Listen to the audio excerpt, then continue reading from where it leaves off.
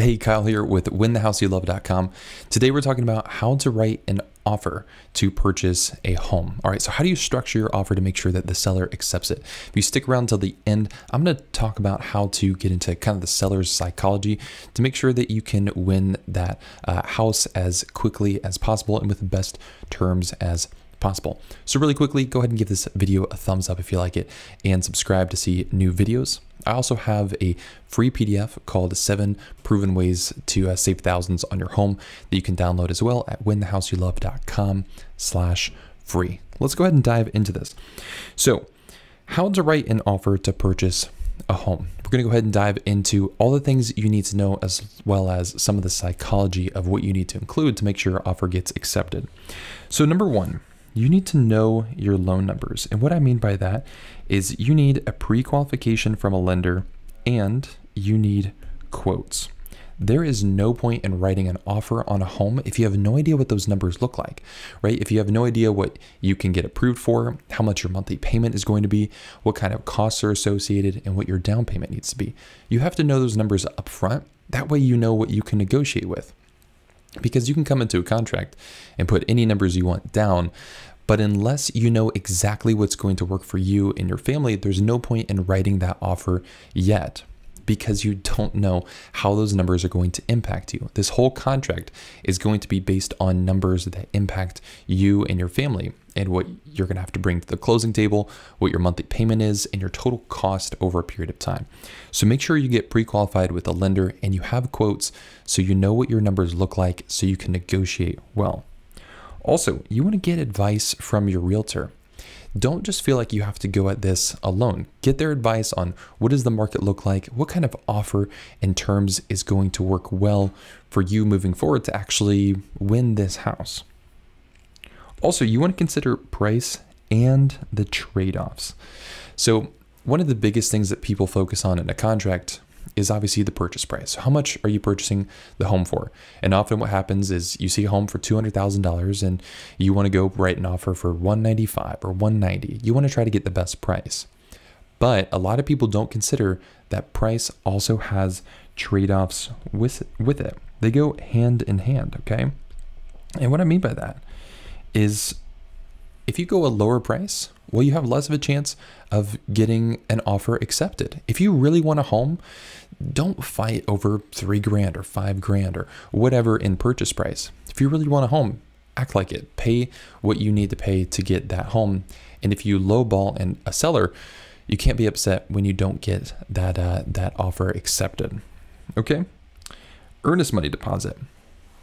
An earnest money deposit is kind of like good faith money that you're going to put up front once that contract is accepted to sell, tell a seller, hey, we're serious about uh, about this home. And what happens with earnest money is that um, it's basically kind of tying up that money uh, with one of the realty companies. And if you back out of that contract without having a good excuse, basically that money kind of gets tied up for a couple years. So earnest money shows the seller, hey, we're serious about this. Um, I would talk with your realtor about what you want to do with earnest money. Sometimes it's not always great to have earnest money in that deal, and it's ideal for you as a buyer to not have any earnest money, but it is there as some leverage if needed. Also, in your offer, you're going to write financing terms. So you're going to spell out what kind of financing you're using, whether it be conventional or FHA, USDA, VA, maybe a portfolio type of loan. You want to tell the seller what type of financing you're using because different types of financing uh, have different attraction levels to sellers. Conventional and cash um, are the most attractive to a seller, right? Cash is the most attractive, then conventional, then government type loans like FHA, USDA, VA, and then portfolio loans. And different types of loans have different requirements for an appraisal. So a seller is usually going to go with a conventional deal over an FHA deal. So you know that if if you have an FHA deal or a VA deal or USDA deal, then you need to make sure that your terms are more attractive than someone with a conventional deal. So if you have an FHA deal, you might have to pay a little bit more, or you might have to ask for less in credits.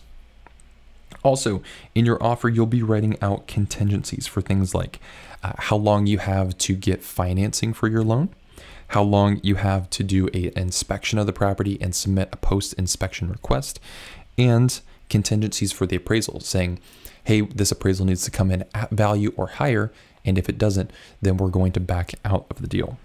Also, you're going to define occupancy. And occupancy is how long after you close on the house that you exchange keys. Okay, occupancy is all about keys. And sometimes what happens is you close on a home, but the seller needs a week or two to move out of the property. So you might close on the house, but not move in or exchange occupancy until a week or two after. Also, you'll be negotiating fees, so things like taxes, insurance, and any credits from the seller. Okay, so in here in your contract, this you're going to negotiate all that right up front. Who pays what fees? How much do they pay? And one of the biggest things to focus on is these credits because this is what's called seller concessions.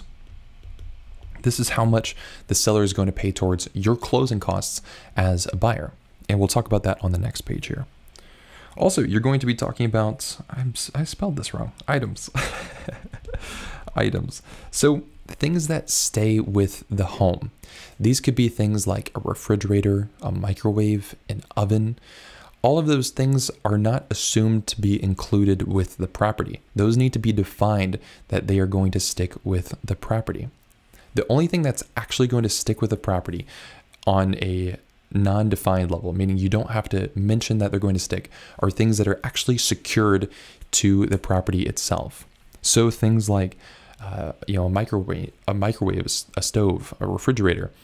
Those are not included with a property. You have to define that in your contract and say, we want to make sure these things stay. Otherwise, the seller can take them with them. And if you didn't put it in the contract, uh, there's, there's nothing you can do to get those things back. So make sure that you talk with the realtor about what items need to stay with it. And here is where you can negotiate, hey, we want to keep the washer. We want to keep, you know, maybe have a riding lawnmower that you want to keep. Maybe there's other things that you want attached with that property. I've even seen people include uh, stereo systems or electronics or other things. Those are things that you can negotiate in this contract. Also, you're going to negotiate the expiration. So one of the biggest things is the contract closing date. When are you scheduled to close on the deal? But then also you're going to submit an expiration for the seller to respond. So when you submit this offer, you're going to say, hey, we want to give the seller X amount of days to respond to us, either with saying they're going to move forward with the contract or they reject the contract. And then finally, what you want to do is after you've talked with your realtor about what you're setting up in this contract and they draft it for you, review it. Actually read it line by line. There's a lot of pages. It really won't take you that long. It probably will take you 30 minutes tops to review that contract. But make sure you know all these details. I can't tell you how many times I talk with a buyer and they're asking questions about how their contract was set up and they weren't even aware of credits that they're receiving or things that they have to pay. They're not aware of dates or contingencies. These are things that drastically impact your deal. Make sure that you review it in depth so you know what's going on. Okay, now let's talk a little bit more about some of the psychology of how we're setting up this offer. Because keep in mind, real estate, it's not like uh, you know retail where you can go purchase something off a shelf. You are in a competitive market where people are bidding for a home. So you need to set it up in the best way possible to win the house. So if there's a house that you really, really want, don't act like you don't want it with your offer. I see this all the time where people say, I love this house, I love this house. And then they go uh, lowball it by 20 grand.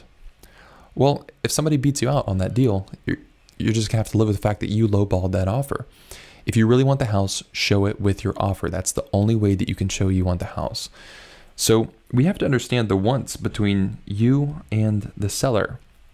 Most of the time, people don't realize you and the seller want very similar things, right? You both want, um, well, price is not a good one to start with. Uh, but you as the buyer want a low price. The seller wants a high price. So immediately you're in conflict. One of you wants a low price, one of you wants a high price, and now you're trying to figure out what's the remedy that we can do to get to the same terms because you both want to sell. Um, also, you as the buyer normally want some high credits. You want the seller to pay for closing costs, you want them to pay tax prorations, but the seller wants low credits. Again, you want high credits, they want low credits, and you're trying to figure out how do you negotiate in the middle. So you're at a bit of a dissonance here. This contract and the way you write your offer is how you're going to pitch. This is the remedy that you're proposing, right? Because you're both at this dissonance and your contract is the thing that, uh, or your offer is the thing that's going to help you um, suggest the solution for that. Something that you both want is a quick move, right? You as the buyer want to get into the home quickly and the seller wants to move out of the home quickly. So you're on the same page there, which is great. You can use that as leverage in your offer. And you both are looking for no repairs, right? The seller doesn't want to have to fix anything. The buyer doesn't want to have to fix anything or pay for anything to be fixed. So same thing there. You're on the same page. So your offer is really your suggestion on, hey, we know that you want this and we want this. So our suggestion through this offer is here's everything that we are suggesting um, as a way to remedy. So it's a, a win-win for both of us because a contract does not uh, ever go through unless it's a win-win, right? I don't think people realize a lot. A lot of times I see buyers thinking that they have to get one up on the seller.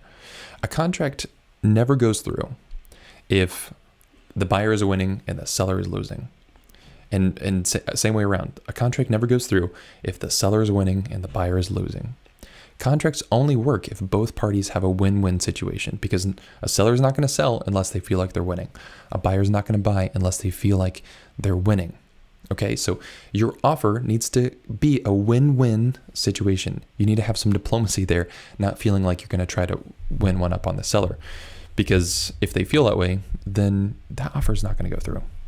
So the two main points that you need to consider in your in your offer is there's we went through a, a big list of a lot of things that you're setting up, but really the main things are your price and your credits. And the reason why those are mainly important is these are the two big things that impact the seller. Okay, so these are all about the seller here and the kind of the seller's psychology.